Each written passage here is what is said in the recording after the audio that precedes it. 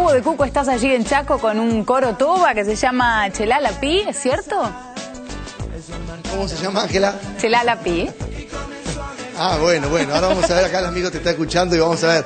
Viene el profesor y después te A va a decir, porque estamos dale. con Claudio Largo. Claudio, ¿lo pronunció bien, Ángela? Muy bien lo pronunció. Bueno, ¿Cómo se pronuncia? ¿Cómo es? Chelala, Bueno, ¿Qué significa?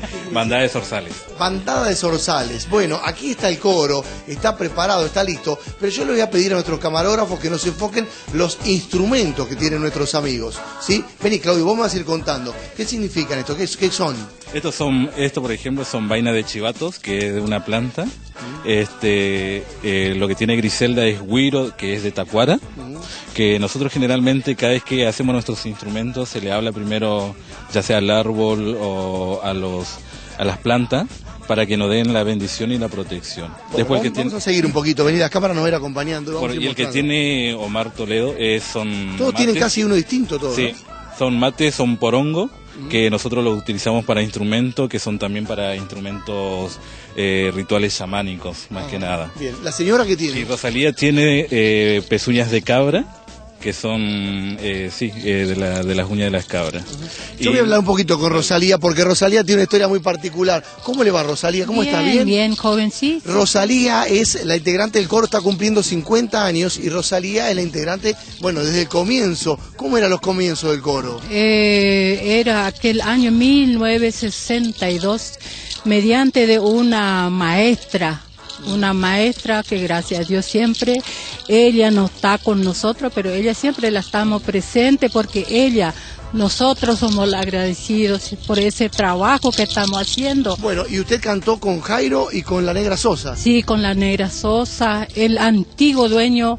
Ellos cantan de otro, de otra forma, pero nosotros eh, buscamos unas cositas, unas letritas, Bueno. nomás antiguo dueño de la tierra. Van a cantar un poquito y lo tenemos a- al amigo acá. Lo- los instrumentos los vamos a repasar un ratito. Son impresionantes, me quedé con el violín ese, ¿no? Sí, ese es un instrumento tradicional de nuestra comunidad, que es, eh, es una profecía para nosotros, que dice que cuando ejecutan el imbiqué, que es el ruido de, la- de las garras de los tigres afilándose en la corteza de los árboles. Bueno, ¿qué van a cantar? Ahora vamos a cantar eh, Ayalay la Bogó, que es Flor del Apacho, que para nosotros como pueblos indígenas de la comunidad del norte es una profecía, porque cada vez que florece el Apacho es porque se viene el año nuevo indígena de las comunidades del norte. Bueno, todos ustedes, vamos adelante.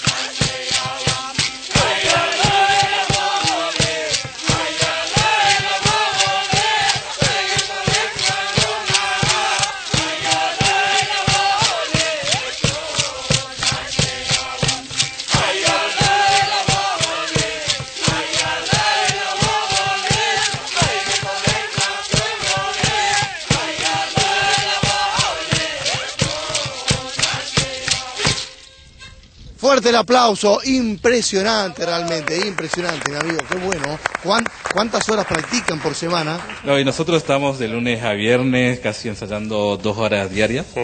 Así que, y bien trabajando mucho, ahora lanzando ya el nuevo coro de niños eh, indígenas acá.